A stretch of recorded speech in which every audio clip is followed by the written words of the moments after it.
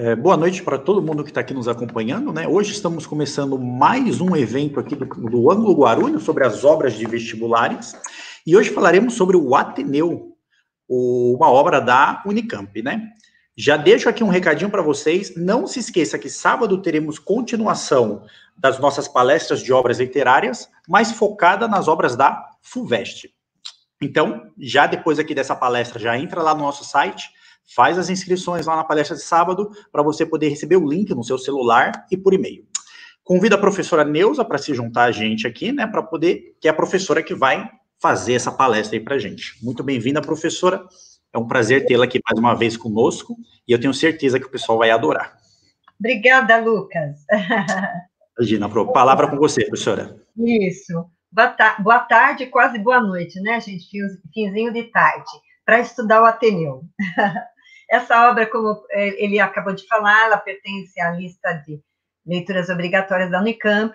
Não sei se alguém leu ou, ou leu lá atrás. De qualquer forma, é uma obra assim complexa, né, pela, pela própria linguagem do escritor. Porém, essencial e nos remete também a pensar no processo de educação, né, tão discutido. Às vezes eu falo assim, nossa, a nossa escola, algumas ou pelo menos boa parte, dependendo também do lugar em que ela assim, ela está nos moldes do Ateneu. Eu vivo falando isso, estou eu cá falando sobre Ateneu. Então vamos lá, gente. O Raul Pompeia, ele pertence, falar um pouquinho rapidamente do escritor, ele pertence ao, ao, ao século XIX, né? É, dentro da estética literária chamada realismo, com algumas nuances de naturalismo e outras tendências que no finalzinho da apresentação nós vamos discorrer melhor. Tá? É, às vezes, o que o escritor escreve pode ter coisas em comum. Então, a sua crítica, a, a crítica né, sobre essa obra, tende a amarrar a história da vida do escritor com essa obra. Né, aquele que, a experiência que ele passou, principalmente no colégio, que o Ateneu é o nome do colégio do qual nós vamos falar cujo subtítulo é Crônica de Saudade. Na medida que a gente for desenvolvendo, nós vamos falando um pouquinho desse subtítulo também. Essa obra ela foi publicada em folhetins, que era aquela coluna do jornal em que se publicavam capítulos a capítulos, até que o próprio jornal lançou uma primeira edição em 1888, né, quando o livro foi publicado. Já que obra e autor às vezes estão ligados, né, falaremos rapidamente sobre a vida do escritor. Ele nasceu em Angra do Reis, e no Rio de Janeiro, né, como todo mundo sabe. Ele teve uma vida bastante reclusa quando menino. Morava num, numa, casarão de fazenda, sob a vigilância, né, a, a cuidadosa da mãe e a severidade do pai. Pelo visto, o menino não era de brincar, não. Tanto é que conta que ele espiava pela janela a brincadeira lá na rua dos meninos. E depois, a família acabou se mudando para a cidade do Rio de Janeiro e lá ele estudou no colégio Abílio, que dizem que é dele que ele tirou a maior material aí para sua obra-prima, o Ateneu, considerada, como eu disse, obra-prima, apesar de ter, ter outros escritos. Depois ele vai fazer o curso secundário, que corresponderia a um médio nosso, no Colégio Dom Pedro II, e dois anos depois ele entra na Faculdade de Direito de São Paulo, então ele vem para São Paulo e participa de movimentos abolicionistas, republicanos, engajado né, nessas questões. Começa uma carreira de jornalista numa gazeta aí, e até por questões políticas, acredito eu, né, ele acaba sendo reprovado nessa faculdade e termina o curso de Direito lá no Recife, tá? Uh, também ele fora nomeado diretor da Biblioteca uh, Nacional, Porém, Prudente de Moraes, na época, o demitiu, porque o, o Raul Pompeia tinha uma certa simpatia pelo Floriano Peixoto. Bem polêmico, né, gente? Para alguém que faz uma crítica bárbara aí. Talvez visto de uma forma um pouco amorosa, e aí o Prudente de Moraes realmente o mandou embora. É, dizem também que o temperamento dele era bastante angustiado e revoltado, mas se é isso ou não, ele se matou na noite do Natal de 1895. Então temos um suicida aí, né? Escritor que, aliás, suicídio na, de escritores é muito, muito comum, é que as pessoas não falam, né? Parece que é algo meio proibido. Então, vamos adentrar essa narrativa aí, tem bastante coisa para a gente ver, mas acredito que conseguiremos terminar no prazo dado aí. Ateneu, né? De onde vem essa palavra etimologicamente falando? Qual é a origem dela? Do grego Atenaion e do latim Atenau, Atenaueu, Atenau. Difícil falar isso, né? Enfim, era um templo que era dedicado à deusa da sabedoria, que na Grécia chamavam de Palas Atenas e em Roma Minerva. Só que essa sabedoria aí, né, é uma sabedoria que eu vou dizer assim, né, que é uma maligna sapiência. Só se for a sabedoria para o mal, pelo que a gente vê. Então, esse colégio, ele é um colégio interno, é um internato, porque ele abriga né, as crianças em tempo integral, elas dormem, elas comem ali, elas estudam ali, uh, e vão para casa quinzenalmente e nas férias. Ou às vezes nem vão, dependendo se a família não vai buscar ou, tá, ou vai, vai viajar, como acontece aí. E um, e um colégio reconhecido no império todo. Né? Tanto é que coloca aí, Ateneu era o grande colégio da época, afamado por um sistema de nutrido reclama. Quer dizer, no sentido de que ele tinha ali uh, a fama por ser um colégio forte, rígido, que, de certa forma, atendia às expectativas dos pais, dos meninos, né? Porque é um colégio masculino. Só a gente que, logo desse início, quando você eh, começa já a ler, você fala, nossa, Ateneu, tempo da sabedoria, é irônico, porque isso aí é do mal, não? É? e a sabedoria a gente liga a algo positivo, né? E mesmo crônica da saudade, porque a saudade, quando eu sinto, eu me remeto a algo positivo, a algo amoroso, tanto é que no final ele vai falar saudades, saudades nada, né? Ele até depois destrói essa ideia de que sentiu saudade. E aí a gente continua. Uh, vamos pensar que também, como muito, muitos consideram, romance de formação. Romance de formação é aquele romance que traz a trajetória de um indivíduo, justamente no momento crucial da sua vida né, no momento de definição do seu caráter, da sua personalidade. Temos aí um narrador em primeira pessoa, o Sérgio, então ele é o narrador protagonista.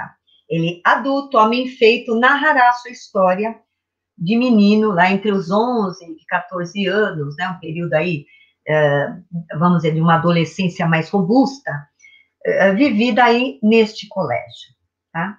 E como nós temos um em primeira pessoa, que está sob o jugo da memória, porque tudo vem de uma memória já de anos passados, é óbvio que a, a subjetividade impera, né? É como um Dom Casmurro de Machado de Assis lá, por exemplo, Bentinho. E daí você vai ter um predomínio de um tempo que se passa na, na memória desse escritor, né, desse narrador, que a gente fala que é um tempo psicológico. Claro, vai ter um tempo cronológico na sua lembrança ali, né? Desde a hora quando ele entra até o momento que vai, uh, vai se, ser destruído o colégio. É, mas o que predomina é, é, é essa, são essas reflexões, essas percepções, como eu coloquei, né, que ele vai tendo, porque ele tem uma impressão de tudo que ele vê. Imagina você se relembrar de fatos passados. E, e daí a obra ela fica mais né, hermética, vamos dizer, né, mais fechada, impenetrável, porque nós queremos aquelas narrativas alencarianas, né, que pega. Existem algumas situações aí bastante empolgantes, vamos dizer, tá, nossa, no sentido assim, o que, que vai acontecer, né, dramáticas, mas as reflexões, elas, elas, elas abundam nessa narrativa. E aí a leitura deve ser extremamente cuidadosa tá? Talvez uma, duas leituras, mas acredito que, né, alguns recebam aí dos cursos, é, é, resumos, com apoio das aulas, fica mais fácil da gente encarar. Esse desenho que eu coloquei, gente, seria a representação aí do Ateneu. Uh, eu não disse, mas o Raul Pompeia, ele era desenhista, cartunista, né, ele, cartunista não, é desenhista, caricaturista e escultor. Então, ele mesmo fez este desenho. E as outras, os outros que nós vamos ver também foram feitos para ele. Ele mesmo, né, faz a ilustração aí do livro. Então, vamos ver esse, esse Ateneu aí. Começa exatamente assim. Primeiro capítulo. São 12 capítulos a obra. Vais encontrar mundo, disse-me meu pai, à porta do Ateneu. Coragem para a luta. Bastante experimentei depois a verdade deste aviso. Então, o desenho aí também do, do Raul Pompeia. Uh, o pai diz que ele vai encontrar o um mundo. O que eu entendo por mundo é, é tudo que nos cerca, né? Então, vamos pensar que o mundo não é só o colégio. O mundo é o colégio, é a sociedade, a família, o trabalho. Mas ali vai ser uma representação do que é fora. Então, logo no primeiro linha do romance, a gente já tem, a, a, ficamos com a ideia, o colégio vai ser um símbolo do que se passa aqui fora, que é o que a gente vai ver depois. Né? E ele ainda diz, coragem para a luta. Nossa, luta, gente, luta é guerra. Então, que, o que, você, você não vai lutar no colégio, você vai aprender, você vai tentar fazer amizade. Né? A luta jamais caberia, talvez a persistência. E, e a luta, ela está muito ligada também a um aspecto masculino, porque, né, que na verdade vai preparar o menino para ser um homem. E ele diz lá no final: eu tinha 11 anos.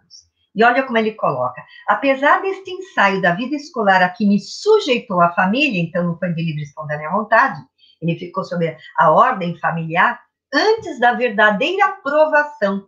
Por isso que eu junto à luta a ideia da aprovação. Você tem o quê? É como se fosse um guerreiro que fosse para a luta, ele vai ter que trilhar um percurso, vencer todas as provas para conseguir aquilo que ele pretende, né? Eu estava perfeitamente virgem para sensações novas da nova fase. Então vejam que uh, ele entra totalmente maturo, totalmente, uh, né? Ele não, ele não tem hábitos, né? Ele não conhece esse espaço, como ele vai se relacionar, como ele vai entender. Então o choque vai ser enorme. O internato, destacada do conchego placentário da dieta caseira, olha os termos que ele usa, né? Ele, ele vai usar muito isso. Quer dizer, retirado ali do seio familiar, né? Retirado dos pais, vem o próximo momento de se definir a minha individualidade. Quando a gente pensa em individualidade, a gente fala, nossa, eu vou ser eu mesmo. Mas uma sociedade que já conhecemos, né, através de Machado, Luiz Azevedo e outros escritores, e sabendo que é do período realista, a gente a individualidade, ela fica submetida à demanda do outro, que o outro exige de mim. Então, é a individualidade dentro do mundo que o, o, Ateneu propõe. Faça-se homem. Né? Então, a questão do aspecto masculino vai ser muito forte dentro de um conceito que a sociedade entende o que é ser o homem naquela época. Estamos no século XIX. Então, vamos lá. O Ateneu é um internato, como eu falei, ele fica interno. Certa vez eu li um crítico aqui, né, que ele é, é Maçom Moisés, ele foi professor da USP, eu nem sei se ele está vivo. E, e ele chamou esse colégio de infernato. Eu amei o título, gente, porque é o verdadeiro inferno, né? Você vai ter até o Lúcifer travestido de diretor da escola. Então, o que, que, nós, o que, que eu coloquei logo de início? Se ele vai passar por uma aprovação, se ele vai ter que lutar, então nós estamos falando num rito de passagem. Né? Antropologicamente, é, considerando esses ritos de passagem, momentos, né, em que o indivíduo vai ter que vencer algumas provas para passar por uma fase, uh, seja dentro de um contexto religioso, por exemplo, uma tribo indígena, ele é um, um menino e ele vai ser um guerreiro, né, ou seja, de, no, no, dia a dia, nós mesmos estabelecemos ritos, né, falar ah, meu ritual esse dia, meu rito, eu cumpro isso, isso, isso, né, mas o rito de instituição, como Bourdieu, um filósofo, coloca, é, é aquilo pelo qual eu passo para poder organizar aspectos da vida social. É? Porque eu preciso organizar minha vida diante da sociedade. Porém, eu vou dando formas cada vez mais para que eu me adeque a, a convenções da sociedade. Então, esse rito de instituição é um rito pelo qual você passa para você se adequado à sociedade que está lá fora, do Ateneu. Porque a sociedade que está lá fora, ela está refletida no Ateneu.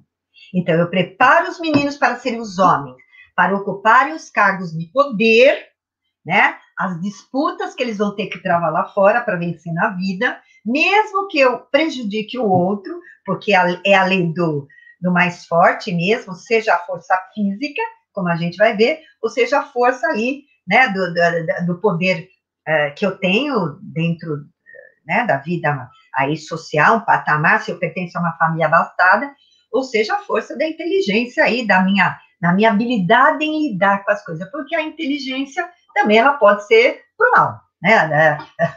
A gente sabe que grandes líderes que mataram aí não eram nada idiotas, pelo contrário, né? Então, nós temos aí uma passagem de uma infância completamente virgem, né, inocente, para uma vida adulta, infelizmente viciosa. Logo no começo diz assim: Pois, meu caro senhor Sérgio, diz o diretor, o amigo há de ter a bondade de ir ao cabeleireiro deitar fora esses cachinhos. O diretor, explicando a meu pai, acrescentou com um risinho nasal que sabia fazer. Sim, senhor, os meninos bonitos não provam bem no meu colégio porque no colégio dele não pode ter meninos bonitos e cachinhos dourados, e o Sérgio era noivo. Então, o cachinho ele vai estar muito ligado à mulher, a um aspecto muito feminino, né? E daí é, ele vai ouvir as primeiras palavras de um, de um aluno ali, recomendado por um professor, depois a gente vai falar dele mais adiante, que logo vai lhe dar um conselho: faça-se forte aqui, faça-se homem. Tá? E daí esse rito né, já começa desde o momento em que ele se despede da infância.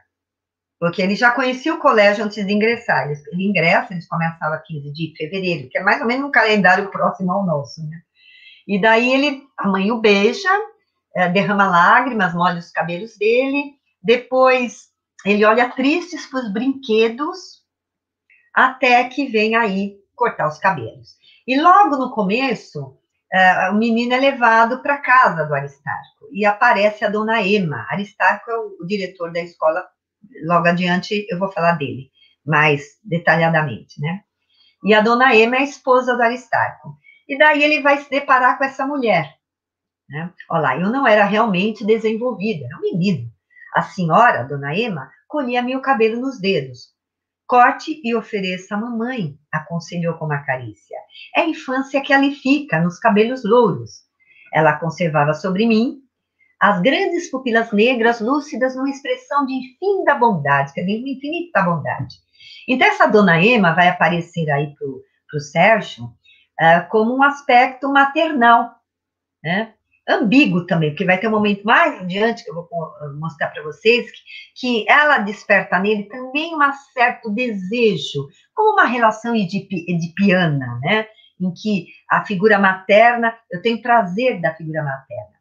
E é curioso também que o nome dela, permutado das letras, nós encontramos a palavra mãe, acrescentando, acrescentando, óbvio, né, o tio aqui para dar nasalização de mãe. Isso se chama um anagrama. Né? Mas, mas ela também, ela, ela, ela camufla o Ateneu. Mais adiante a gente vai falar mais um pouquinho dela. E, e, é interessante que esses, esses cachinhos, esses cabelos loiros, ele fica com uma imagem muito, né, principalmente ocidental, do anjinho, essa figura meio angelical, que vai perdendo esta virgindade. Então, vamos lá.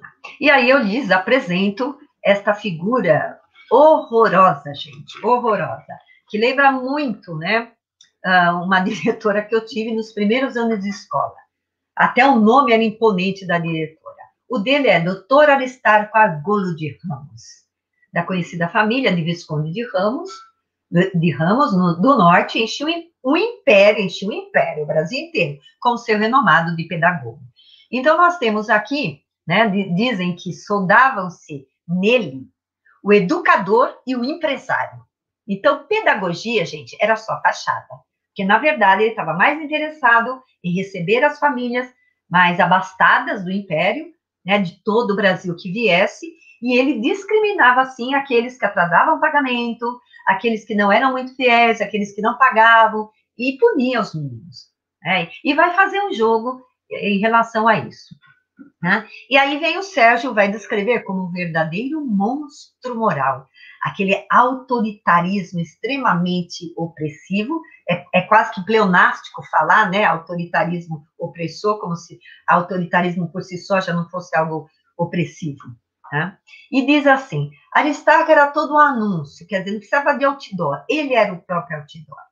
Os gestos calmos soberanos eram de um rei, o olhar fulgurante sob a crispação áspera dos supercílios de monstro japonês, Você imagina o monstro japonês, gente. Isso povoa nossas infâncias. O, que, o queixo severamente escanhoado, barbeado, de orelha a orelha, retorce-se sobre tudo isso um par de bigodes, volutas maciças. Sabe aqueles bigodões que o pessoal estica é, meio metro para um lado, meio metro do outro, enrola depois? Então, aquele bigode era a moda da época. Teremos esboçado moralmente, materialmente, o perfil do ilustre do diretor. Quem está narrando é o Sérgio Adulto, obviamente que esse ilustre é extremamente irônico. Então, você vai ter o quê? Uma caricatura aí, né, deste diretor e de, dos alunos e de outras situações, que, na verdade, podemos atribuir ao fato do próprio Raul Pompeia, né, ter feito caricaturas. Eu posso fazer caricaturas com lápis, desenhar no papel, mas eu posso fazer caricatura com as palavras, deformando, né, usando expressões que, que é, trazem o indivíduo maior do que ele é, exagera um pouco. Então, o lado artístico, vamos dizer, da pena, né, da escultura, elas vão ser é, impregnadas aí na palavra da, do escritor. Então, por isso que você vai ver muitas, muitas descrições. E aqui, só para você ver ainda, né, essa, essa, essa, essa potência desse, desse diretor, que, claro, né, o que, que você tem ali? Você tem um grupo de professores que, obviamente, vão fazer às vezes, o diretor e vão aplaudir o discurso dele. E aí, um dos professores, o Venâncio, ele vai aparecer várias vezes aí, a gente começa a chamar de puxa-saco do diretor, ele diz assim: olha, olha, né, olha como é a sociedade. A família é um amor no lar. Isso porque era palmatória, batia nas crianças, né? imagina. O Estado é a segurança civil. Pensar no Rio de Janeiro, né, um, no século XIX, um, um, um estado completamente, eh, em termos de, de, de, segurança, péssimo, né? A gente vê isso, por exemplo, no Memória Sargento Milícias, que ele conta ali, que pouco havia, né, uma autoridade que pudesse realmente tomar conta, botar uma ordem.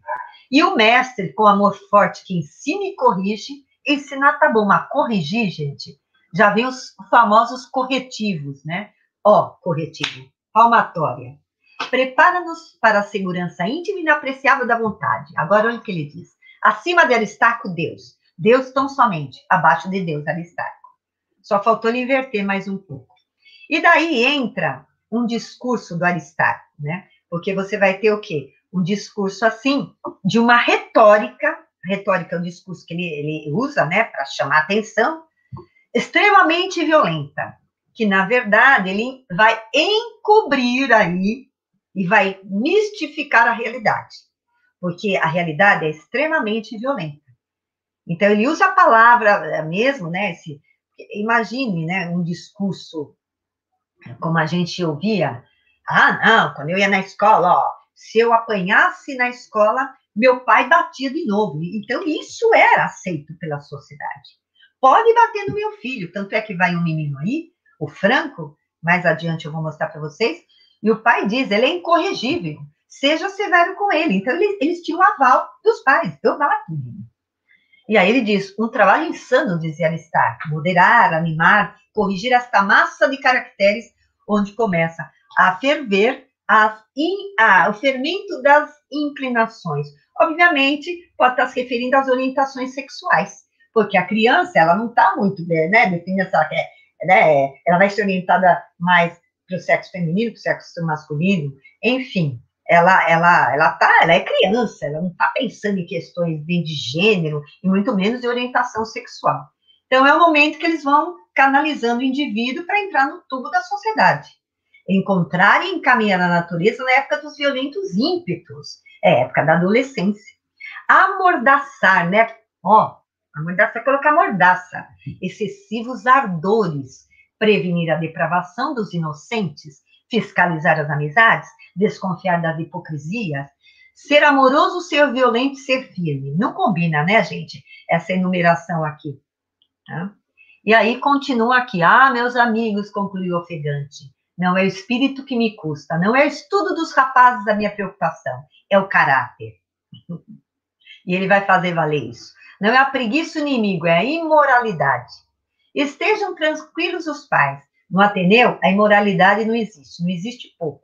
velo, né, eu cuido pela candura, pela inocência das crianças, como se fosse, não digo meus filhos, minhas próprias filhas. Porque a gente, nós somos meninas, né, meninas? Sabemos que o olhar dos pais sobre nós é muito mais rígido do que sobre os meninos. Os meninos podem sair, gandaiar, vai embora. Hoje eu não sei como é que tá muito, né? Mas na minha época não podia, não.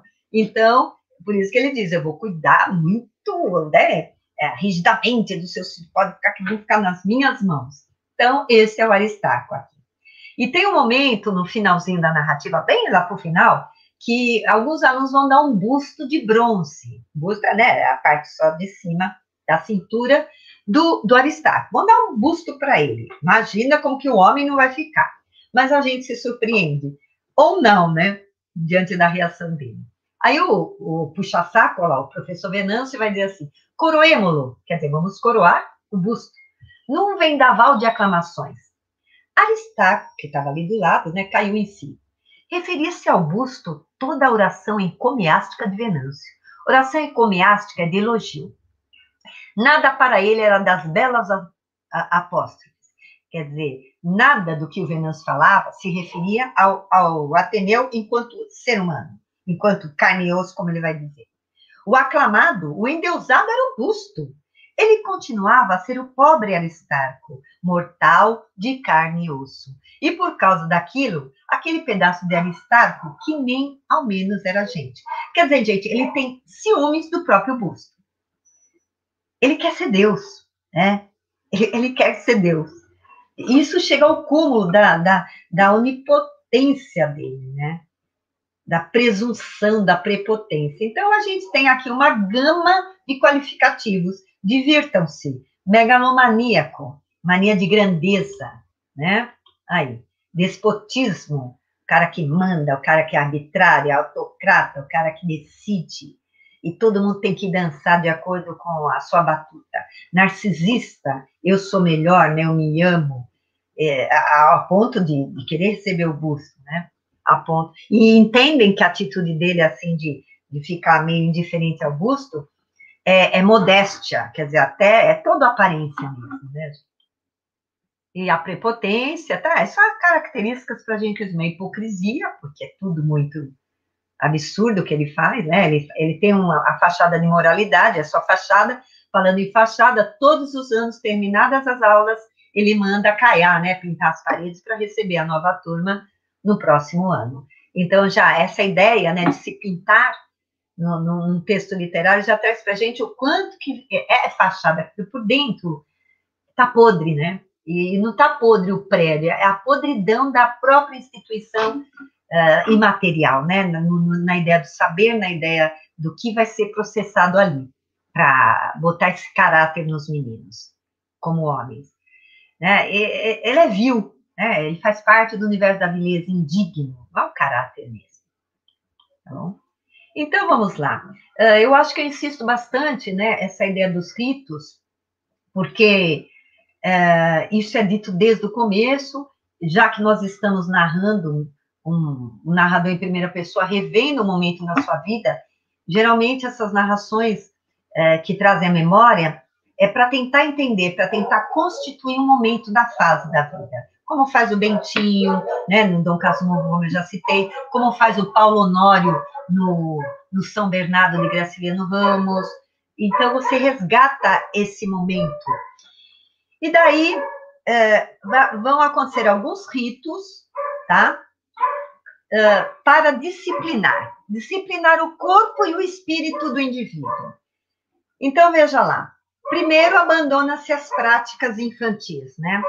Para você ser, se incorporar à robustez de um homem. Faça-se homem adverte o Rabino. Isso vai custar o quê? Muito sofrimento, muita desilusão, muita tristeza, muita punição. Né? Para preparar o quê? O indivíduo para a vida social e política lá fora. Né? Para que ele tenha acesso às esferas do poder. Porque fora do muro. Porque ali, ali no Ateneu, já, já a disputa de poder, a disputa por quem vai ganhar, a disputa por quem, quem vai mandar já é explícita. E daí é, tem que se reprimir o quê? A, a, infância, a delinquência, os aspectos femininos dos meninos, aspectos não aceitos aqui fora no universo social, né? É, porque eles precisam estar aptos para ocupar situações de prestígio, de poder, ele tem um status social. Então, imagine como vai ser tudo perverso. Aí começa o quê, né? Começa a disciplinar o corpo, impondo rotinas. Você tem que ter tal horário, você tem que fazer isso, não pode fazer aquilo, tal, tal, tal, e normas de conduta. É, isso é o corpo dele, é, é lado material. Então, você não pode ir aqui, você não pode ir lá, você não pode desobedecer isso, tal, tal, tal. Mas tem aquilo que é mais subjetivo. Como que eu vou mexer com a, as crenças do indivíduo, com a, a forma, né, da, dele, dele formando a sua personalidade? Para isso, os ritos, um deles é o exame. Tá? O exame começa ali, uh, no dia em que ele vai simplesmente, né, pegar entrar na aula, primeiro dia, e o professor Manlio lhe chama a pedra. A pedra, gente, seria a lousa, tá? Ali, e começa, ele fica desesperado. Olha o que ele vai dizer. De pé, vexadíssimo, senti-me abrumar-se-me a vista numa fumaça de vertigem. Quer dizer, como se tivesse uma névoa assim. Ele ficou extremamente desesperado. Por quê? Porque ele não incorporou o hábitos, né? Como ele vai se organizar, como ele vai perceber esse mundo social ao seu redor, que é um microcosmo social, e como ele vai reagir diante disso. Ficou extremamente constrangido, tenso, assim, desesperado. Né? Então, ó, a estreia do primeiro exame foi de fazer febre. Que barbaridade aquela conspiração contra mim, contra um, de todos aqueles perfis rebarbativos contínuos. Mais alto que tudo, o ministro do Império, o Executivo, o Estado, a ordem social, o aparato enorme, contra uma criança. Porque mais adiante ele vai falar de um exame que ele vai passar para o secundário, né? Ele sai de um estágio e passa para o outro. Então, e, e, esses, e esses exames, eles classificavam o indivíduo como suficiente ou insuficiente, né? Desde a aprovação com louvor à reprovação. E daí, obviamente, o indivíduo era quase que um objeto a ser classificado e mensurado. Você não vai medir uma pessoa e dizer que ela é suficiente ou insuficiente. Você vai apontar determinadas. Porque todo mundo consegue ser suficiente, né? Todo mundo consegue fazer as coisas. A gente só precisa detectar onde que a pessoa está tendo dificuldade. Mas é como se eu pudesse dividir o mundo. Esse é suficiente, esse não é suficiente. Tá? E aí a gente tem outro, outro rito, que é o livro de notas, a mais terrível das instituições do Ateneu. Esse livro de notas, gente, ele é de capa de ouro, né, para impressionar, lido perante todos os alunos pelas manhãs às 8 horas. Então, todo mundo ficava sabendo. O que, que eles anotavam? Como que o indivíduo estava. Então, o indivíduo não está prestando para nada, por exemplo, né? O indivíduo está se degenerando. O indivíduo está. Então, ou elevava o indivíduo ou rebaixava. Né? Então, não era o objeto em si o problema, mas a relação que ele produzia com a, do, do aluno com os outros. Porque eles tinham que se ajustar aos esquemas de pensamento e expectativa daqueles que dirigiam o colégio. Né? E, e, o pior ainda, olha o que ele vai dizer. E pior é que lavrava o contágio da convicção e surpreendia-se cada um, consecutivamente, de não haver reparado que era mesmo tão ordinário tal discípulo e tal colega, reforçando passivamente o conceito. Quando, por último, o condenado, sem mais uma sugestão de revolta, achava aquilo justo e baixava a cabeça. Para dizer o que em miúdos, né? Para dizer que você é culpado e você acredita na culpa. Então, tanto humilhava o indivíduo que ele passava a ver é, pelos olhos do colega como um, insuficiente, um, um impotente para determinadas questões, né? Como se ele não tivesse a, a possibilidade de, de alcançar aquela nota, né? De, de ser bem sucedido. E aí o condenado ele incorporava dentro dele que estava justo aquilo. Ou seja, a introjeição da culpa. A culpa é minha. Né? Por isso que abaixava a cabeça. Porque, diante de uma nota, eu aceito. Será que é justa essa nota? Ela não é arbitrária? Ela não está dando essa nota em função de meu pai, é, é, é vamos dizer, é, ser um homem muito importante na sociedade? Então, ela era arbitrária. E daí vinham os castigos, e os castigos muitas vezes eram muitas páginas escritas, né? aquelas cópias enormes que ficavam horas e horas, passavam desde até meia-noite fazendo as cópias, quando não eram punidos de outras formas, até corporais, né? Ficar de braços abertos em frente ao refeitório, ficar ali ajoelhado no pátio, onde os colegas davam beliscões, é, jogavam, batiam, um deles bate na cabeça, um dia numa grade. Então, ele, ele praticamente era um Marte, ficava como um Marte ali. É bullying, né, gente? Faziam bullying ali, tá? E o outro, outro ritos aí, né, para para disciplinar, é o Grêmio Literário Amor ao Saber. Nossa, que bonito, né? Eu adoraria participar dele. É um espaço devoção artística, onde, onde os meninos desenvolviam vários conhecimentos, sejam literários ou filosóficos. Conduzido por um dos professores, o professor Cláudio, e dali, o que, que acontecia? Não era todo mundo que podia participar desse grêmio, não, né? Apenas aqueles que tivessem o saber legítimo. Agora você fala, o que, que é o saber legítimo? Legitimado pelo que eles entendiam que era. Por exemplo, Sérgio, ele gostava de Júlio Verne, A Volta ao Mundo em 80 Dias, né, o escritor. Mas isso não era um saber legitimado pelo Grêmio. Cícero, o filósofo lá da Antiguidade Clássica, sim. Então, ele não seria, reduziria a possibilidade de ser, e ele gostava de ler. Né? E daí, se você não aderisse ao saber dominante daquele Grêmio, você estava descartado. Claro que depois, nas solenidades, eles, a, é, eles levavam, que a produziam. Né? Então, era um, um, um mundo fechado para quem é, aceitasse o que eles queriam. Por isso que é o que a gente falou, Ateneu passa a ser essa miniatura, esse protótipo, esse microcosmo, né? Um pequeno mundinho ali, onde se representa já toda, de certa forma, as, as formas como nós vamos nos adequando aos espaços, como nós vamos tendo que interagir. Ou você faz parte dele, ou você vai ser, ficar à margem, como os meninos ficavam, né? Então, olha lá, eu, ah, eu tinha prometido a dona Ema, né? A dona Ema, gente, é, como eu disse, é a mulher do diretor, né, aquela ali, e teve no finalzinho lá do, da, do romance, o Sérgio ele vai ficar um pouco doente. E daí a dona Ema vai cuidar dele, tá? É, anteriormente também ele, ele vai visitar a dona Ema, ele, o Egberto vai ser o último companheiro dele, é, e ele sai de lá se sentindo assim com 20, como é? 20 anos de altura, sai se sentindo homem. Né? Então, é como se ela tivesse aquilo que eu disse, né? Apesar dessa meiguice, como ele a vê, uma mulher delicada, materna, uh, uh, super cuidadosa, amorosa, mas se pensarmos dentro dessa instituição de que fazer a Casa do Aristarco um prolongamento do Ateneu, porque a casa ficava contígua ali do lado do prédio do Ateneu, né? É dizer o quê? Que aqui também é o Ateneu. E se é o Ateneu, o jogo é o mesmo. Então, é como se a dona Ema, isso é muito sutil, né? Ela, com seu jeito amoroso, né, com a sua bondade aparente, vamos dizer assim, ela pudesse já levar o, o, o menino aquilo que o, o Ateneu objetivasse. Ou seja, ele deveria adquirir o estatuto de homem. E homem gosta de mulher, né?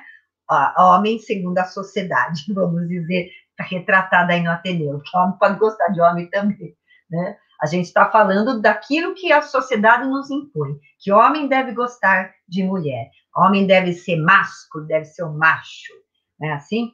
E daí é, ela pode ter uma ah, ter essa simbologia, assim, né? Essa simulação do poder institucionado aí no Ateneu. Então, olha, a dona Ema, Bela mulher em plena prosperidade dos 30 anos de Balzac.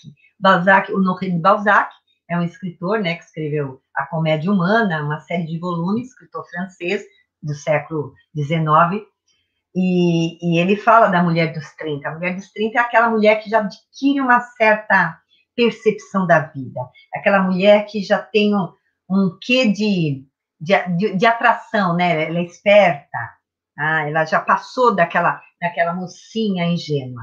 Tá? Então, é uma mulher mais madura.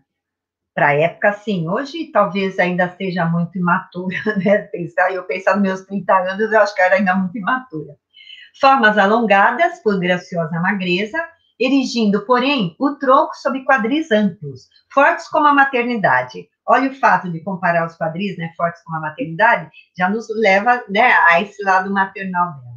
Olha os negros. Adiantava-se por movimentos oscilados, cadência diminuir, como fosse uma dança, né, harmonioso e mole que o corpo alternava. Não tem uma sensualidade? Estamos falando uma pornografia, né? Nós estamos falando uma sensualidade. Vestia cetim preto justo sobre as formas. Ah, gente, não tem como, né? Imagina os meninos, uma escola só de meninos, uma mulher de 30 anos, ficavam todos, né? Ó, oh, ainda ela é, chegava perto dele, e, e, isso vai mexer com o Sérgio. E o cetim vivia com ousada transparência a vida oculta da carne. Esta aparição maravilhou-me. Não precisa muito, né? Nós estamos falando de um afã aí bastante intenso, tá? Então, tem isso aí da dona Ema. Outra mulher que está no Ateneu também, gente, é a Ângela. A Ângela vem do grego angelus, que significa mensageiro, mas também vem do latim angelus, que significa anjo. Então, olha ali. Aparência de anjo, né? Nós estamos falando o quê? Das aparências dessa sociedade. O quanto que a fachada da Atena é pintada, o quanto a dona Ema vem com a aparência da mãe, o quanto que a Ângela vem a aparência, né, o que o nome sugere, o anjo. Então, veja aí. Trepada ao muro e meio escondida por uma moita de bambus e ramos de era, vinha a Ângela, a canarina. A canarina seria originária das Ilhas Canárias. Mas eu procurei também, né? E canarina é uma flor das Ilhas Canárias. Interessante, porque no final vai falar da flor. Ver os banhos da tarde. Está se referindo o que esses banhos da tarde? Era praticamente um, lençol de água ali no, no Ateneu, onde os meninos se banhavam nos dias de calor. Acho que é 30 metros de comprimento, 5 de largura. E ela trepava o muro e ficava fazendo joguinhos de sedução com eles. Olha lá, lançava pedrinhas aos rapazes, os rapazes mandavam-lhe beijos e mergulhavam buscando seixo, buscando o que ela jogava ali. Ângela ria perdidamente um grande riso, desabrochada em carola de flor através dos dentes alvos, né, como aquela flor. E a flor está muito ligada à metáfora da, ligada à mulher, ou mesmo, às vezes, ligada à, à própria genitália da mulher, né, em, alguns poemas assim. Né? Então, ó, consciente da famosura, Ângela abusava Vai ter um momento no Ateneu em que dois homens vão brigar por conta dela, porque ela prometeu aos dois a mesma dedicação. Então, eles vão disputá-la a faca, tá? Claro que um deles sai vencedor e mata o outro. E daí, todo mundo começa a ficar desesperado, porque vê o homem ali no, né, no Ateneu, correr no Ateneu, para ver a fachada de moralidade mesmo da, da, da, desse prédio. E por dentro só Deus é que sabe, como dizem. Né? Então, ele estava com a faca na mão, toda ensanguentada, e aí todo mundo, peguem-no, peguem-no. Quando o Bento Alves, um, um, um rapaz bem forte, robusto, né, o deteve. E depois levaram o homem embora e ela passa, né, assim, a cena, gente, uma cena horrível, né, um homem foi morto, outro preso, tudo por causa dela. E ela passa, afaga os cabelos do Sérgio e dá um sorriso para ele. Né? Aí você pensa, mas por que, então, que ele que o Aristarco não vê isso? Né? Ou será que ela é um instrumento de sedução? Né? É a fêmea para que eles sejam homens? É porque ela provocava, para que ela, é, os meninos pudessem é, também reforçando a sua masculinidade, os seus desejos de homem. É porque ela fica. Então, ela, ela vai despertar essa, essa sexualidade neles. E aí vamos falar um pouco dos colegas do Sérgio, né? Amigos não, colegas, né, gente? Tem uma, uma frase que ele usa assim, né? Uma sentença. Cada rosto amável daquela infância era a máscara de uma falsidade, o prospecto de uma traição. Não precisaria mais nada, né? Depois, eu vou te apresentar alguns amigos. Esse Rabelo é, foi o, o, menino que, primeiro que ele encontrou, né, o, é, era um discípulo mais sério, um aluno mais sério, recomendado pelo professor Manlio, aquele primeiro, né, das primeiras letras, era mais velho que o Sérgio, e ele vai alertar o Sérgio. Um cáfila, dizia Rabelo. Cáfila seria uma caravana de mensageiros, de mercadores que levavam né, os camelos lá no deserto, é, para dar um aspecto mais bruto. Não imagina, meu caro Sérgio, conte como uma desgraça ter de viver com esta gente. E esta gente são os meninos, gente. Os meninos, os B10, inspetores, professores, uns perversos. Têm mais pecados na consciência que um confessor no ouvido. Uma mentira em cada dente, um vício em cada polegada de pele. São servis, traidores, brutais, adulões, quer dizer, eles puxam, puxam o saco. Pensa-se que são amigos? Sócios das bandalheiras cheiram a corrupção. É. Isto é uma multidão, é preciso força de cotovelos para romper. Olha aí a luta que o pai o alertou, né? Sem, sem vamos dizer, é, explicitamente está se referindo a isso que o Rabelo coloca. Os gênios fazem aqui dois sexos, olha, gente, uma penitenciária masculina, como se fosse uma escola mista. Os rapazes tímidos, ingênuos, sem sangue, são brandamente impelidos para o sexo da fraqueza. Leia-se sexo da mulher, infelizmente, né? são dominados, festejados, pervertidos como meninas ao desamparo. Faça-se homem, meu amigo. Comece por não admitir protetores. Tá? Então, começa no Sérgio aí já uma extrema decepção. Olha o que ele vai dizer. Depois, o narrador, né? A, a reflexão. Depois que sacudi fora a tranca dos meus, dos ideais ingênuos de criança, Sentia-me vazio de ânimo. Senti-me acovardado. Perdeu-se a lição viril de Rabelo, a lição de seja homem. Prescindi de protetores. Como assim? Não aceito protetores. Eu desejei um protetor. Alguém que me valesse naquele meio hostil e desconhecido.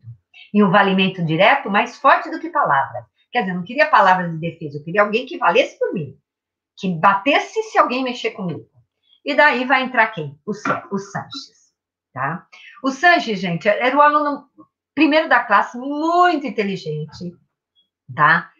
Mas, assim, o Sérgio no começo achava um antipático, né?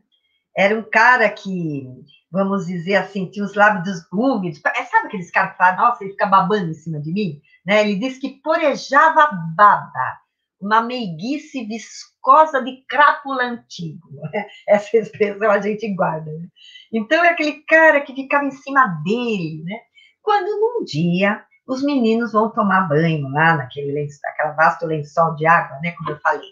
E, e aí o Sérgio diz: Mal tinha eu entrado, senti que duas mãos, no fundo, prendiam-me o tornozelo, o joelho. A um impulso violento, caí de costas. A água abafou-me os gritos, cobriu-me a vista. Num desespero de asfixia, pensei em morrer. Então alguém pulou. Quando alguém me amparou, levei algum tempo para me inteirar do que ocorrera. Verifiquei que o Sanches me tinha salvo. E afogar-se, disse ele, amparando minha cabeça enquanto me des desempastava os cabelos de cima dos olhos. Tive depois motivo para crer que o perverso e a peste do Sanches fora ele próprio que me, me empurrara ali, na intenção de fazer valer um bom serviço. Então, assim, ele queria isso para depois ele, ele ser meu protetor tá? Que na verdade é o que vai acontecer, porque depois ele vai andar com o Sérgio, mas o que, que vai acontecendo? O Sérgio vai, o, Sérgio, o Sanches, né? Ele vai andar com o Sanches, e o Sanches vai tendo atitudes inoportunas, ficando bafejando no rosto dele, amassando-lhe os dedos, né? Queria que o Sérgio sentasse no colo dele, até dizer assim, ainda hei de tirar a virgindade. E a, e a gota d'água foi quando ele colocou os lábios dele no rosto do Sérgio, quando ele ia se aproximar. Aí ele rompeu de vez. Porém, como na sala o professor Mânlio separava a turma em duas, né? Uma das turmas era comandada pelo Sanches, e ele ficou na turma do Sanches. E daí, gente, o rendimento dele foi cada vez caindo mais e mais e mais, né? E, e aí, obviamente, ele vai se deteriorando, tá? Um outro menino que impressionou foi o Franco, né? O Franco, ó lá, Perto de mim viu Franco, sempre de penitência, em pé, cara contra a parede, como Silvino, que é o inspetor, dava-lhe as costas, divertia-se a pegar, a pegar moscas para arrancar a cabeça e ver mover o bichinho na palma da mão. Perguntei-lhe por que estava de castigo, sem olhar de mau modo. Lá sei, disse ele, porque me mandaram. Então, quem é esse, esse Franco, gente? Ele é um menino de 14 anos, muito magro, raquítico, nunca ria. Dizia que era o, o diretor dizia que ele era um, cão, uma alma penada, sempre de joelhos. O pai era um pobre desembargador, né, que viera lá do, desterrado dos confins do Mato Grosso, tinha oito filhos. E daí, é, o pai, esse era o que o pai dizia, né? Que ele era um incorrigível e o Aristarco é, pegar pesado mesmo. E as notas dele eram péssimas. A máxima, né, gente? Violência traz o quê? Violência. E daí, obviamente, ele vai ter atitudes completamente né, é, violentas também. Né? Ele, ele apronta demais. Uma delas é quando ele vai fazer xixi no poço justo o poço que lavava a louça ali do, do Ateneu. Depois ele é descoberto, obviamente. Descoberto vai ser punido com escritas, ainda bem que é, avisaram antes. Depois vai ter um momento, que eu acho que eu coloquei aqui. Não, é mais adiante, né? Deixa eu botar para cá. Vai ter um momento em que ele vai aprontar uma, uh, que ele convida o, o Sérgio para ser uh, testemunha do ato, porque ele quer se vingar, né? Convidar para uma extraordinária empresa à noite. Mais adiante eu vou mostrar para vocês, tá? Outro aluno que aparece ali, com que o Sérgio, né, vai se relacionar, relacionar sim, no sentido, né, de, de esbofetear, vai ser o Barbalho. O Barbalho é um, é um menino terrível também, né, aqueles, aquele da turma do fundo, dos, como eles diziam lá, os, um dos piores da sala. Várias vezes nessa tarde foi assaltado pela chacota impertinente do barbalho. O endemoninhado caolho puxava minha roupa, esbarrava me em contrões e fugia com grandes risadas falsas. Até que, afinal, meu desespero estourou. Né? Foi quando ele meteu a mão no cara. Foi à noite, pouco antes da ceia, o Biltre, Biltre é um indivíduo canalha, reconheceu-me e arreganhou uma inexpressiva interjeição de mofa, de deboche. Porque o que, que ele fazia? Ele ficava falando para todo mundo, né? Assim, da, ele vai, ele que vai aprontar algumas coisas aí de, de, de ficar insinuando, né? Relações de um com o outro, especialmente do, do Sérgio. Então, estampei-lhe uma bofetada. Meio segundo depois, rolávamos na poeira, engalfinhados como fera. Né? Então, você vê que o Sérgio vai, né, vai se deteriorando cada vez mais. Até uma hora que, obviamente, ele está completamente desiludido. Olha lá, onde meter a máquina dos meus ideais naquele mundo de brutalidade que me intimidava com os obscuros detalhes e as perspectivas informes, escapando da investigação da minha inexperiência? Porque quando ele entrou no, no Ateneu, ele achava que aqueles eram amantes do estudo, né? Que o colégio era bonito, era organizado. E aí, onde vão ficar os ideais dele? Qual o meu destino naquele mundo que o Rabelo escrever horrorizado, que faça-se homem, com as meias frases de mistério, suscitando temores indefinidos, recomendando energia, como se coleguismo fosse hostilidade? Quer dizer, aqui você não tem colega. Faça-se valer por si próprio. Tornei-me um animalzinho ruim. Né? Então, veja como ele vai se degradando em termos de, de, de objetivos. Tá? Encarnei o pecado na figura de Sanches e carreguei. Note-se de passagem que, apesar dos anseios de aventurança, eu ia mal no catecismo. Ouvi Aristarcos alargando pausas dramáticas de comoção, ler claro severo lá no livro de Neto. Seu Sérgio tem degenerado. Imagina como ele vai ficando, né, Até que essa cena que eu queria falar para vocês, essa é, vai ser a pior de todas, né? Quando o Franco, querendo se vingar, vai convidar o Sérgio. Olha lá. Ainda que isso não fosse rigorosamente exato, não foi surpresa para mim ver o excomungado, que é o Franco, convidar-me para uma extraordinária empresa à noite, vingar-me da corja, dizia o Franco. Porque o Franco queria que alguém fosse mesmo né, ali testemunha do que ele estava fazendo. Franco deteve-se junto ao monturo, monturo é um lixo, né? Um monte de lixo. A um canto entre tocos de bambu tiniram garrafas. Eu ouvi que ele quebrava as garrafas, porque o Sérgio ficou ali mais afastado, só olhando. Eu vi que ele quebrava as garrafas uma por uma e começou a lançar então com maior sossego ao tanque para todos os lados aqui e ali, dispersamente como semeando as lascas, as lascas de vidro que partira. Onde ele jogou isso, gente? Onde os meninos iam tomar banho. Então, o que, que vai fazer o Sérgio? Claro que eles vão pular um muro, uh, eles vão, vão ser pegos, obviamente, né? Depois vão receber punições. E o Sérgio, naquela noite, ele não consegue dormir. E ele vai para a capela. Aí, na capela, ele fica ali, desesperado, né? E acaba até adormecendo ali. É, os meninos até pensam que ele é sonâmbulo, por isso que ele foi, foi aparecendo na capela, né, de manhã. E, e vão e ele pergunta, né, para as pessoas ali, e a piscina, e a piscina, né, e o banho? E falaram que não houve banho, porque a água já tinha sido usada seis vezes e precisava trocar. Então é óbvio que ninguém se cortou, porque ele já havia todo mundo ensanguentado ali. Então foi terrível, né? E aí o Franco, obviamente, foi severamente punido. Acabou ficando ali, de frente ao reformatório, como eu falo, aqueles castigos, fica de joelho, ou vai fazer cópia, ou tudo junto ou fica isolado num, num lugar escuro, tá? E daí, uh, completa degeneração. Então, vamos fazer uma retrospectiva, né? O, no início, ele vai perdendo aqueles ideais do menino, vai tendo que se encaixar no padrão do colégio, afasta-se de Sanches, começa a andar sozinho, e ele tem, é, nesse momento, depois dessa piscina, ele acaba, né? Ele tem ali uma, uma, uma santa, um santinho ali, aqueles de, que o pessoal guarda em carteira, né?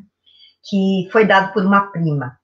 E então ele era devoto, ele, ele começou um momento, uma febre extremamente religiosa. Mas depois, gente, da cena da piscina, ele começou a arder em remorso. E aí começou a passar por uma, uma, uma reforma interior, né? espiritual, achando que o misticismo, né, aquela coisa de ser devoto da santa, das coisas, o estava degradando. E aí ele declarou independência. Imagina o que vai acontecer, né? É, porque o contato com as pessoas, ele vai ter contato, por exemplo, com um tal de Barreto, que vai trazer para ele um Deus cruel, o Deus da punição. Quando ele simplesmente diz assim: subi ao dormitório e tirei da gaveta a Santa Rosália. Né? Guardei a flor da última oferenda seca Despulhe despedido um ósculo, um beijo e, sem mais profanação, fila baixar a sala de estudo, onde lhe cometi o modesto encargo de marcar as páginas de volume. Estava demitida a minha padroeira, quer dizer, ela virou marca livro. Né? Aí só lhe restou, obviamente, o Deus selvagem do Barreto, mais sozinho do que nunca, diz ele que fica. Tá? Aí é o máximo que ele acaba ficando. Gente, outra temática, como eu já havia aventado para vocês, a homossexualidade, com o Bento Alves. O Bento Alves é aquele, aquele que era, né, é, que pegou, deteu o homem que matou o outro por conta da Ângela, e, e, ficou quase como herói. Ele vai se aproximando do, do, do Sérgio, e, e cuida do Sérgio assim como se fosse um cão de guarda. Consideravam-no principalmente pela nomeada de Hercúleo, esse Bento Alves. O sorte constitui uma fidalguia de privilégios no internato. E aí o Sérgio diz: estimei-o femininamente, porque era grande, forte, bravo, porque me podia valer, porque me respeitava. Aquela timidez, em vez de alertar, enternecia-me. Então, por um tempo, ele ficou na relação com o Sérgio, com o Sérgio, Bento Alves. O Bento tinha 18 anos já, viera do Rio Grande do Sul, só que depois ele vai brigar com outro ah, aluno ali da escola, né, outro estudante, um malheiro muito provocativo, que vivia falando dos dois, né, e aí mandou a florzinha para o seu, pro seu namorado, enfim, que eles acabam brigando. E, obviamente, o diretor vai puni-los, mas o Bento Alves sai do colégio. E, e o Sérgio só não leva porque ele vai brigar com o Sérgio, depois eles vão brigar, o Sérgio Bento Alves, além dele ter brigado com, com o Barbalho, né, ele vai brigar também com, com desculpa, Barbalho, com o Malheiro, ele vai brigar também com o, o Sérgio. Ele devia estar atormentado, rapaz. Ele acaba saindo do colégio e o, e o Aristarco não pune o Sérgio porque ele pensa, um já saiu, já pensou se assim me sai? Uma mensalidade a menos. Ele poupou o Sérgio para ter uma mensalidade a mais. Depois o Sérgio vai conhecer na transição para o secundário, para as aulas do secundário, que seria o que eu falei, né? um estágio maior, o Egbert. O Egbert tinha origem inglesa, muito formoso, diz ele, loiro, do olho azul. E eles, assim, era quase que um irmão, mas é, mais ou menos, né, gente? Porque é muito sutil com ele, né? Foi uma relação muito sutil, não tão explícita quase como a do, do, do Sanches e do Bento Alves. Mas o, o Egberto, ele, eles passeavam juntos, liam livros juntos, um deitava assim no colo do outro, e diz o Sérgio, vizinhos ao dormitório, eu deitado, esperava que ele dormisse para vê-lo dormir, e acordava mais cedo para vê-lo acordar. Tudo que nos pertencia era comum. Eu, por mim, positivamente o adorava e o julgava perfeito. Era elegante, destro, trabalhador, generoso. Eu admirava, desde o coração até a cor da pele e a correção das formas. Eles acabam rompendo naquele momento em que o, o, o Sérgio, né, vai adentrar a casa da Ema e sente que ele sai de lá, como eu disse, com 20 anos, né, de altura. Então, ele vai se afastando também do Egbert. É um momento que ele, né, já está ali terminando essa fase. E aqui ele diz, ó, a convivência do Sanches, espécie de escravidão preguiçosa da inexperiência, então eu fiquei escravo do outro porque eu era inexperiente. A amizade de Bento Alves fora verdadeira, comodidade da sujeição voluntária, vaidade feminina de dominar pela fraqueza e do Egberto fui amigo. Entretanto, eu experimentava a necessidade deleitosa da dedicação. Gente, eu estou vendo que aqui já são 19 17. Será que eu tenho mais cinco minutos? Pode ser, Lucas? Que ele não falou, acho que dá, né? Então vamos lá. Tá, tá quase terminando, gente, bem no finalzinho. Aqui vai ser a descrição de. Eles vão fazer alguns passeios né? Um deles vai ser no Jardim Botânico, lá do Rio de Janeiro, uma vez eles sobem a serra, vão, falam do Corcovado, no Morro dos Irmãos, ou seja, alguns cenários aí que nos remetem realmente ao Rio de Janeiro, final do, do, século XIX. O Segundo Império, bem no final do Segundo Império, porque vai ter algumas ocasiões de solenidades que eles reservam lugar de honra da princesa, Princesa Isabel, né, gente? Aqui vai ter um momento em que eles vão comer é, vão, vão fazer uma refeição no jardim botânico. É horrível, né? Parece que você está no inferno. Eu falo que aqui é o círculo dos gulosos, o pecado da gula. Aves inteiras saltavam das travessas, os leitões à unha dos dois lados da mesa. As garrafas de fundo para cima entornavam rios de briaguez para os copos.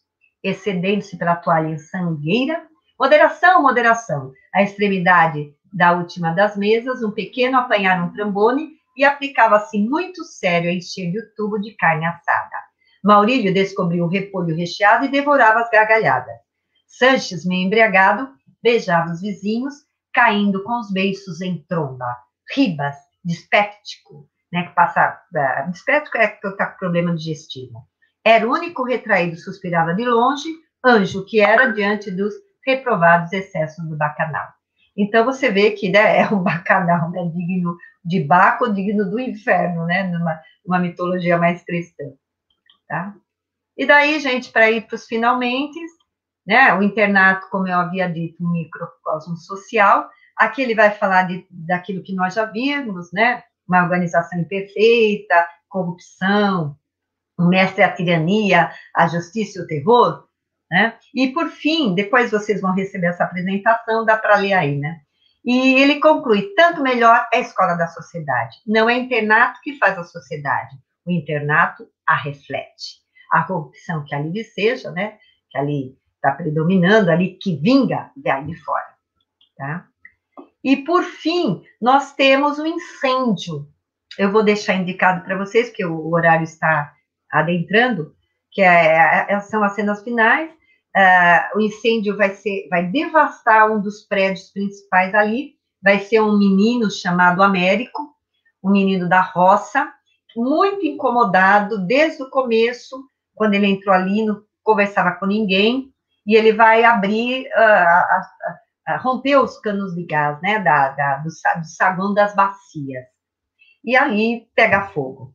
E aqui você vai ver uma descrição, eu não coloquei ela inteira, ela é extensa, uma descrição detalhada dos, dos objetos sendo, sendo queimados. É interessante, né, porque a queima desses objetos, ou a queima do Ateneu, pelo menos aí de, de alguns prédios, é uma forma do, do, do Sérgio se vingar, né, é, do autor se vingar até da própria instituição, que nos remete também a um regime escolar é, é, comparado ao regime monárquico, né, porque se a gente está falando que ali se reflete a sociedade, obviamente, nós estamos falando de um sistema monárquico que estava em crise. Então, queimar esses objetos é queimar, né? Cada objeto vai representar um saber, uma matéria, que nenhum saber justificaria o exercício da força da violência. Então, é, é uma vingança, né? Uma vingança dessa instituição que, de certa forma, re, é, reproduz as forças de poder da sociedade. E aí, no final, ele diz assim: aqui suspenda a crônica das saudades. Saudades verdadeiramente? Puras recordações. Saudades também, se ponderarmos que o tempo é ocasião passageira dos fatos, de fato. Mas, principalmente, o tempo é o funeral para sempre das horas, né? Não dá para resgatar mais o que já passou. Então, a gente teria, né, uma síntese aqui uh, contra esse autoritarismo, não só da, da questão educacional da época, mas também do regime que estava em crise, né? E termina aí um, mais um círculo, né, de vida do Sérgio, nesse momento aí dessa passagem bastante é, é, crucial da vida dele. E pensar também que o fato de ser um menino que veio da roça, né, robusto, ter colocado fogo, podemos pensar nas classes mais oprimidas, né, contra um regime que a, as deixa apartadas da sociedade. Né?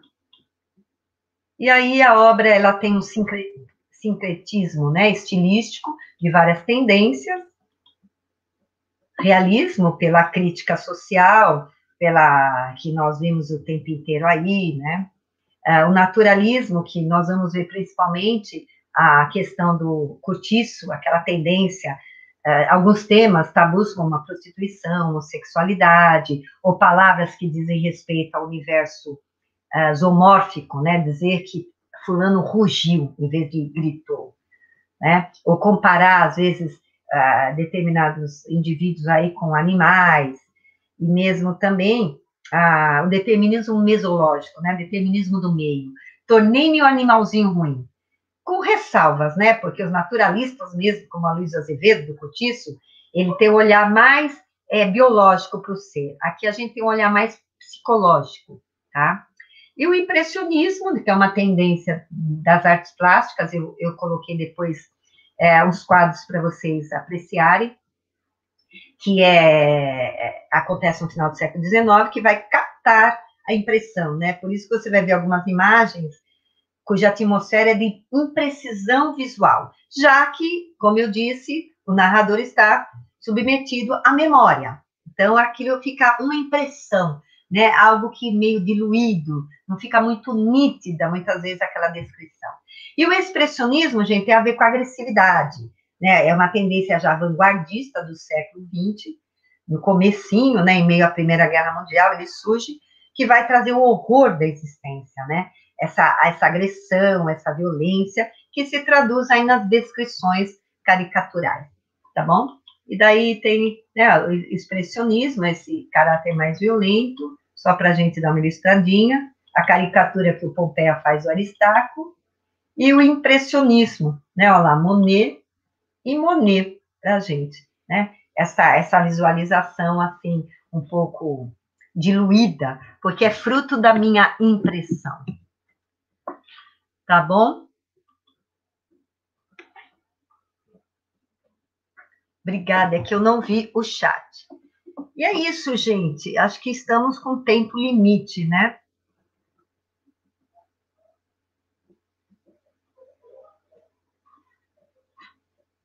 Sim? Onde você está, Lucas?